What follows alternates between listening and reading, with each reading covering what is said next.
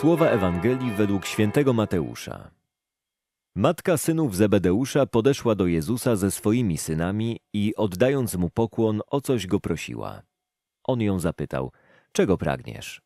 Rzekła mu, powiedz, żeby ci dwaj moi synowie zasiedli w twoim królestwie, jeden po prawej, a drugi po lewej twej stronie.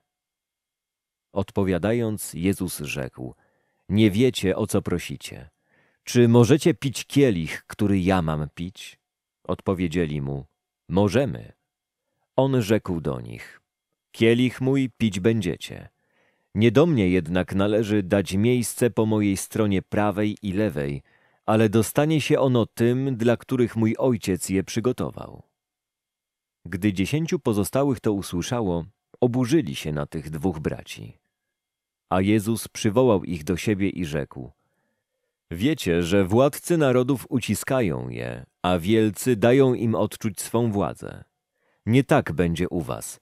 Lecz kto by między wami chciał się stać wielkim, niech będzie waszym sługą. A kto by chciał być pierwszym między wami, niech będzie niewolnikiem waszym. Na wzór Syna Człowieczego, który nie przyszedł, aby mu służono, lecz aby służyć i dać swoje życie na okup za wielu.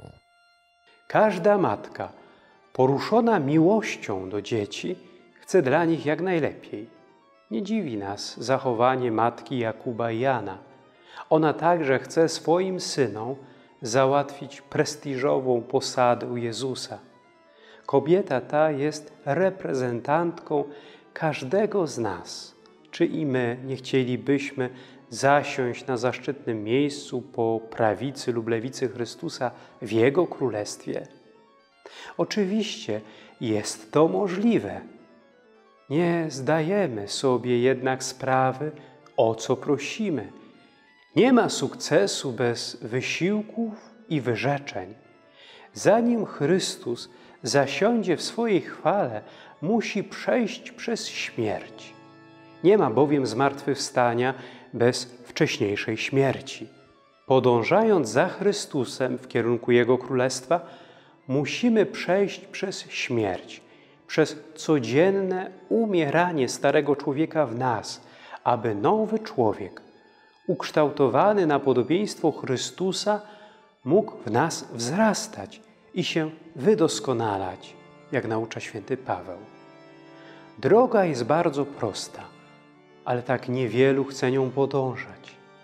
Kto chce być pierwszy, niech stanie się ostatnim i sługą wszystkich. To bardzo przejrzysta zasada. Co stoi jednak na przeszkodzie, że tak trudno nam na nią wejść? Jesteśmy niecierpliwi, jak rozkapryszone dzieci. Chcemy natychmiast otrzymać wszystko, co sobie wymarzyliśmy, nie bacząc na konsekwencje. Uczmy się systematycznej pracy i cierpliwego czekania na jej efekty pracujmy nad sobą, stając się coraz mniej panami, a coraz bardziej sługami. Schodźmy z pierwszych zaszczytnych miejsc, a uczmy się zajmować te najniższe, aby w stosownej chwili Bóg nas wywyższył i posadził na tronie swojej chwały. Pan bowiem pokornych wywyższa, a pysznych strąca z tronów chwały.